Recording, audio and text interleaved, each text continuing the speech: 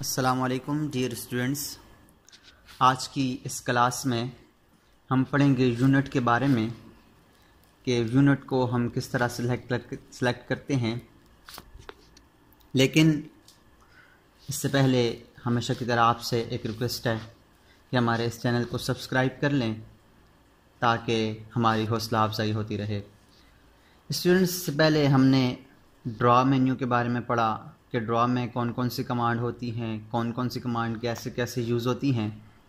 और उसके बाद फिर हमने सारा मॉडिफिकेशन के बारे में पढ़ा मॉडिफाई टूल बार के बारे में पढ़ा कि मॉडिफाई में क्या कुछ होता है और ये किस तरह से इस्तेमाल होता है।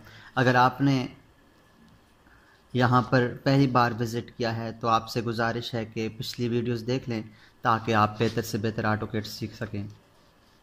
आज हम पढ़ेंगे यूनिट को और यूनिट क्या होता है कि जब भी हम कोई प्रोजेक्ट के ऊपर काम करते हैं, कोई भी प्रोजेक्ट बनाते हैं, कोई भी ड्राइंग्स बनाते हैं तो उससे पहले यूनिट को सिलेक्ट करना होता है, कंप्यूटर को बताना होता है ऑटोकेट को बताना होता है कि हम काम मीटर्स में करना चाहते हैं या फिट इंचज़ में करना चाहते हैं तो उसके लिए यूनिट को इस्तेमाल किया जाता है।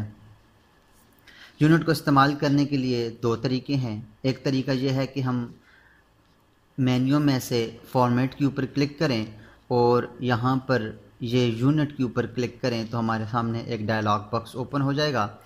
या हम कमांड प्रॉम्प्ट के ऊपर यू एन लिख कर एंटर करें तो हमारे पास ये कमांड एक्टिव हो जाती है। जो ही हम यू एन लिख कर एंटर करते हैं तो हमारे सामने एक डायलॉग बॉक्स ओपन होता है और यह है ड्राइंग यूनिट के नाम से। इसके अंदर जो सबसे पहले है वो लेंथ है। हम ये सारे जितने भी इसके अंदर सेटिंग्स हैं उसको पढ़ेंगे। पहले हम पढ़ते हैं लेंथ को। लेंथ के अंदर जो पहला है वो टाइप है। कि आप किस टाइप की यूनिट लेना चाहते हैं, उसके अंदर सबसे पहले आर्किटेक्चर है डेसिमल है इंजीनियरिंग है फ्रैक्शनल है और साइंटिफिक है।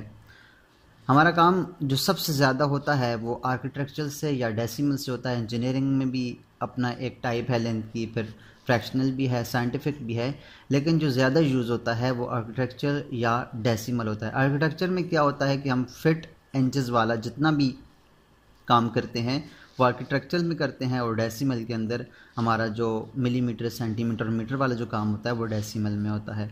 अगर हम फुट इंच में करना चाहें तो आर्किटेक्चर को सिलेक्ट करें। तो हमारे पास अगर आप ये नीचे इंसर्शन स्केल में देखें तो ये इंचज़ उसने ऑटोमेटिकली ले लिया है। ऑटोमेटिक में फिर हम इसको यहाँ से बढ़ा भी सकते हैं, इसको भी देखते हैं। उसके बाद हमारे पास प्रिसीशन होता है। प्रिसीशन में क्या है कि हम कौन सी स्केल रखना चाहते हैं? ज़ीरो फुट जैसे ज़ीरो फुट सबसे पहले zero foot two zero inch है zero foot two one over two inch है zero foot one over four inch है। Zero foot two one over eight inch है। तो ये हमारे पास इसकी प्रिसीशन होती हैं कि हमने कौन सी स्केल रखनी है। जो ज़्यादा इस्तेमाल होती है, जो हम इस्तेमाल करते हैं, वो zero foot one over eight inch होती है। हम इसको ज़्यादा इस्तेमाल करते हैं। उसके बाद जो दूसरा है, वो डेसिमल है। डेसिमल के अंदर क्या होता है कि हम अगर काम अपना मीटर में करना चाहें, मिलीमीटर में करना चाहें सेंटीमीटर में करना चाहें तो हम यहाँ से इसके ऊपर सेलेक्ट इसको सेलेक्ट करने के बाद हम अपना जितना भी काम होता है वो सारा मीटर सेंटीमीटर और मिलीमीटर में कर सकते हैं। तो प्रिसेशंस के अंदर भी यूनिट्स हैं कि पॉइंट के बाद कितनी वैल्यूज़ आएँ तो उस तरह से वो हम इसको सिलेक्ट कर सकते हैं। जो ज़्यादातर होता है वो ज़ीरो पॉइंट ज़ीरो ज़ीरो मतलब कि टू दो वाला ही इसको सिलेक्ट किया जाता है। उसके बाद हमारे पास जो इंसर्शन स्केल्स होते हैं कि हम इसके अंदर units to scale insert contents हैं कि हम किसमें किस यूनिट में काम कर रहे हैं इंच में करना चाहते हैं फीट में करना चाहते हैं माइल्स में करना चाहते हैं मिलीमीटर्स में centimetre metre kilometre micro inches miles yard तो हमने मुख्तलिफ़ कोई भी एक यूनिट सेलेक्ट करते हैं तो आप याद रखिएगा कि कम से कम जो छोटी से छोटी यूनिट होगी, अगर आप उसको सिलेक्ट करेंगे तो आपके पास छोटी से छोटी जब यूनिट्स को आप सिलेक्ट करेंगे तो वो बेहतर से बेहतर और छोटी से छोटी यूनिट को लेते हुए, छोटी से छोटी पैमाइश को लेते हुए बेहतर से बेहतर आपको ड्राइंग बना के देगा। जैसे हमारे पास मीटर्स के अंदर जो है वो मिलीमीटर सबसे छोटा है तो मिलीमीटर लेंगे तो जितनी भी ये पैमाइशें लेगा वो मिलीमीटर में लेगा। अगर हम सेंटीमीटर को सिलेक्ट करेंगे तो जितनी भी पैमाइशें वो लेगा, वो सेंटीमीटर में लेगा। अगर हम मीटर्स में सेलेक्ट करेंगे तो जितनी भी पैमाइशें वो लेगा मीटर में मीटर में लेगा। जैसे हम एक लाइन लगाते हैं तो एक लाइन लगाएँगे तो उसके लिए जब मैं एक लिख कर एंटर करूँगा तो वो एक मीटर की लाइन लगाएगा। अगर मैं सेंटीमीटर में सेलेक्ट करता हूँ तो जब मैं एक लिख कर इंटर करूँगा तो वो सेंटीमीटर लेगा।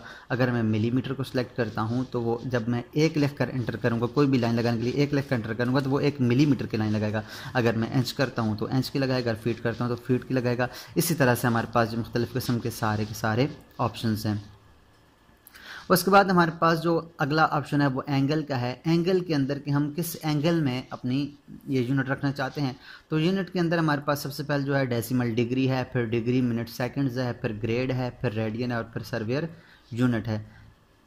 डेसिमल डिग्री के अंदर क्या होता है कि हम, हमारे पास इस डिग्री के अंदर हमारे पास हम डिग्रीज लगाते हैं, डिग्री लगा के देते हैं, हमें कितनी डिग्री पे लाइन लगानी है, किस डिग्री पे रहकर हमने काम करना है।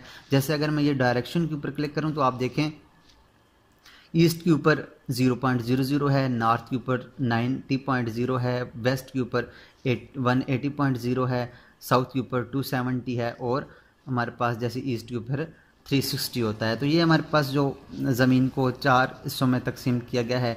तो उसमें मुख्तलिफ़ जो तरीके इस्तेमाल किए गए हैं, तीन तरीके इस्तेमाल किए गए हैं तो उस तरीक़ों में से एक हमारे पास जो डेसिमल डिग्री वाला है डिग्री वाला, वो हम इस तरह से इस्तेमाल करते हैं। उसके बाद हमारे पास जो दूसरा होता है, वो डिग्री मिनट सेकंड्स होता है, कि डिग्री मिनट सेकंड्स में अगर हम इसको पढ़ना चाहें तो डायरेक्शन में जाते हैं, देखते हैं, इसमें ईस्ट जो है, वो ज़ीरो ज़ीरो डिग्री पे होता है जो नॉर्थ है वो 90 डिग्री ज़ीरो मिनट्स पर होता है, वेस्ट जो है one one eighty degree zero minutes पर होता है, साउथ जो है वो two seventy degree zero minutes पर होता है। इसके अंदर और भी हमारे पास छोटी यूनिट्स आ जाती हैं। डिग्री हमारे पास जैसे 60 मिनट की इक्वल एक डिग्री होती है 60 सेकंड की इक्वल एक मिनट होता है। तो इस तरह से जैसे हमारे पास घड़ी के अंदर होता है तो सेम वही तरीका है। उसके बाद हमारे पास जो अगली यूनिट है, वो ग्रेड है। तो हमारे पास ग्रेड के अंदर भी ज़मीन को चार हिस्सों में तकसीम किया गया, सौ सौ ग्रेड के ऊपर तकसीम किया गया है। जैसे ईस्ट में ज़ीरो पॉइंट ज़ीरो ज़ीरो है नॉर्थ के अंदर सौ ग्रेड है, फिर वेस्ट में 200 ग्रेड हो जाता है, फिर साउथ में 300 ग्रेड हो जाता है और फिर ईस्ट पे दोबारा से 400 ग्रेड हो जाता है। तो हम ग्रेड में भी इसको ले सकते हैं। उसके बाद हमारे पास जो आगे रेडियन है रेडियन में क्या हुआ था कि हम इसको पाई की सूरत में तकसीम किया गया है। पाई के अंदर जैसे हमारे पास ईस्ट के अंदर ज़ीरो ज़ीरो ज़ीरो रेडियन है, नॉर्थ के अंदर one point five seven radian है, जैसे, जिसको हम वन अवर टू पाई कह सकते हैं पाई अवर टू कह सकते हैं मतलब कि आधी पाई वेस्ट के अंदर three point one four radian है मतलब पूरी एक पाई है, और साउथ के अंदर फिर वो three three over two pi हो जाता है तो उस तरह से फिर ईस्ट के अंदर ज़ीरो हो जाता है। तो इस तरह से हमारे पास ये हम रेडियन के अंदर भी इसको, डिग्री को, एंगल्स को ले सकते हैं।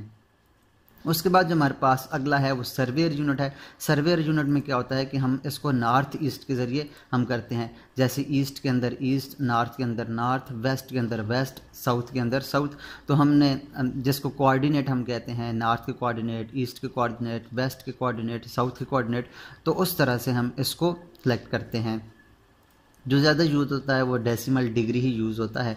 उसके बाद ये क्लॉक वाइज है। ये क्लॉक वाइज क्या है कि ये इसको क्लॉक वाइज ये अभी जो काम कर रहा है वो एंटी क्लॉक वाइज पढ़ रहा है। एंटी क्लॉक वाइज मुखालिफ से मत पड़ेगा। अगर मैं इसको चेक ऑन कर देता हूँ तो हमारे पास इसको फिर क्लॉक वाइज अब पड़ेगा। जैसे घड़ी चलती है जिस साइड पर one, two, three, four, five की तरफ़ जैसे चलती है तो उस तरह से क्लॉक वाइज की डिग्रियों को पड़ेगा। तो आज के लिए इतना ही। ये ड्राइंग यूनिट्स हैं जिसको हमने सीखा है।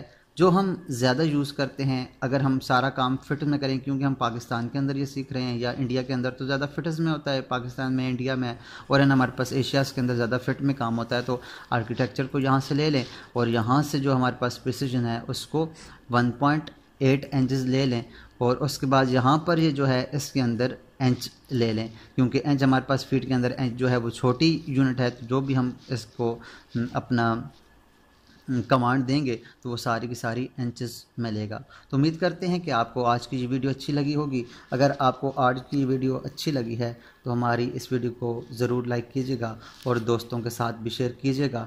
मिलते हैं नेक्स्ट क्लास में। तब तक अपना और अपने साथ जुड़े, हर रिश्ते का ख्याल रखिएगा। अल्लाह नगबान।